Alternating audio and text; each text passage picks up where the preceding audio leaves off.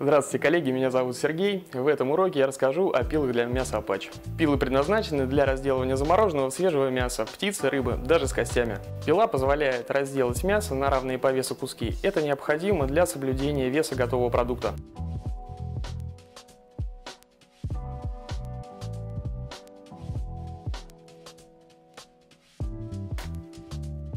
Пилы для мяса имеют э, регулятор ширины отреза, толкатель.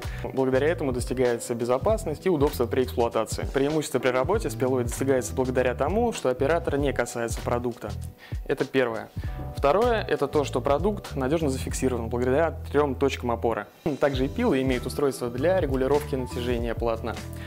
Благодаря этому срез получается ровным и качественным. Со временем натяжение полотна ослабевает, поэтому очень важно периодически его регулировать. Скорость движения рабочего полотна 900 оборотов в минуту. У бренда Apache представлены еще три модели пил для резки мяса. Их характеристики вы сейчас можете увидеть на экране. У модели разная длина рабочего полотна. Модель ASV 183 имеет полотно 183 см и подойдет для крупного продукта.